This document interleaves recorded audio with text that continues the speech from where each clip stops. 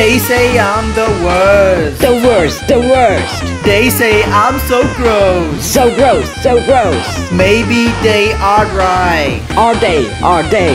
Maybe it's not quite. What? Here I am, lying in my bedroom. To me, it is a place that blooms. To them, it is a space of tombs. Don't just assume. Come in and play Doom.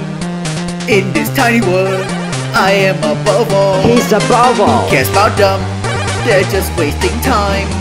Now put in this time and play till you die. Ever since he came into into their life. World He was always looked at, looked at with a big eye. He asked himself why, why, why, why, why, why, why, why Will ever be satisfied? Oh, I think I know why.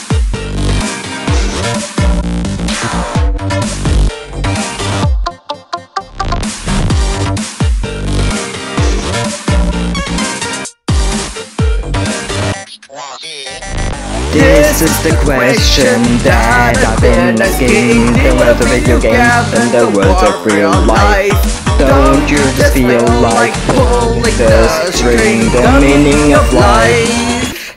Not anymore.